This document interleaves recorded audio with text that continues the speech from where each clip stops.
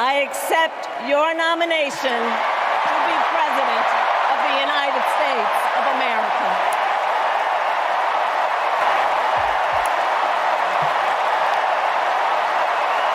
For years, Donald Trump did everything in his power to try to make people fear us. See, his, his limited, narrow view of the world made him feel threatened by the existence of two hardworking, highly educated, successful people who happen to be black. Wait. I want to know who's going to tell him who's going to tell him that the job he's currently seeking might just be one of those black jobs? We have a chance to elect a president who is for the middle class because she is from the middle class. And Chicago, we have to help her win.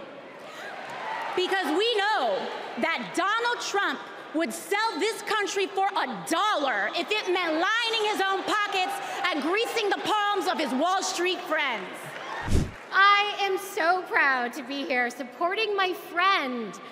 But the real reason I am here is that deep down, I truly believe that as a woman of color and as a single mother of three, it is incredibly important that I be appointed ambassador to Italy. That's how this works, right? That's like why I'm here. I've never been, I'm dying to go. And guys, I just really need a break. Kamala locked up murderers and drug traffickers. She will never rest in defense of our freedom and safety.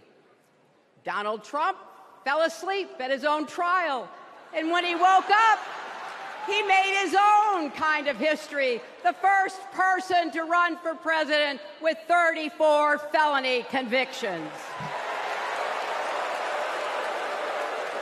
There are people who want you to see our country as a nation of us against them, people who want to scare you, who want to rule you, people who'd have you believe that books are dangerous and assault rifles are safe.